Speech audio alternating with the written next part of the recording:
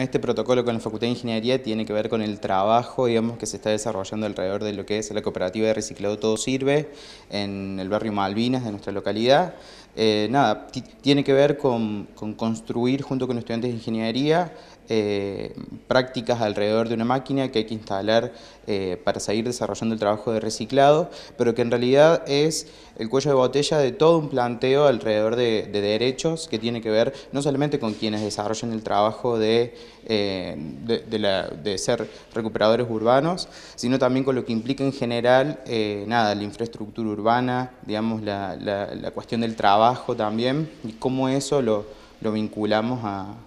a, las nuevas tecnologías también. La importancia de trabajar interdisciplinariamente con distintas facultades.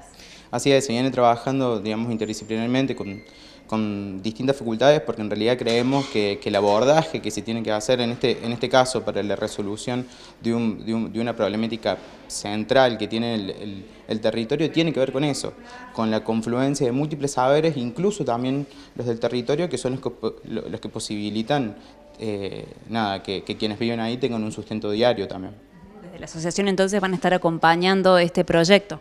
Así es, nosotros venimos acompañando este proyecto justamente desde el enfoque de derechos, digamos, problematizando qué son los derechos humanos, qué son los derechos humanos hoy, digamos, y cómo eh, tienen que ver en este caso con, lo que respecta a la ingeniería, pero también a múltiples temas, como decía recién, el trabajo, el hábitat y demás.